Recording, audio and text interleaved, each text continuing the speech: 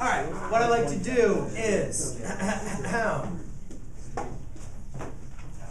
what I like to do is show you guys how to solve a, uh, a two-step equation and a couple things that we worked over with this problem.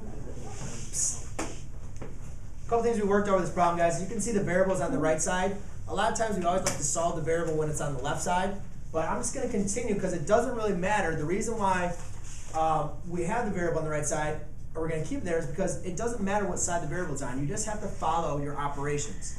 So the first thing we look to is see if we can simple. Um, actually, we could simplify this, but I'm actually going to keep that way. First thing I want to do for this problem is actually remember you always want to do the reverse order of operations. Undo undo addition and subtraction. So I look at my variable and I'm going to circle it. I'm going to say, all right, what is happening to the variable in regards to it adding and subtracting? And you can say it's being subtracted by 4. So to undo that, I need to add a 4. And you're going to add a 4 to both sides of the equation, both sides of the equal sign. A big mistake is students do this. That's not both sides, right? You can sometimes make a line. Sometimes we do that when you're first learning. Do it on both sides. Therefore, negative 30 plus 4 gives you a negative 30 equals negative 4 plus 4 is going to give you 0, so you're left with 6m.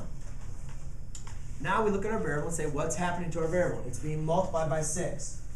So I have to undo multiplication, which is division.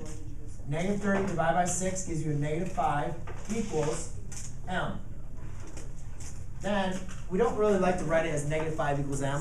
We like to write m equals negative 5.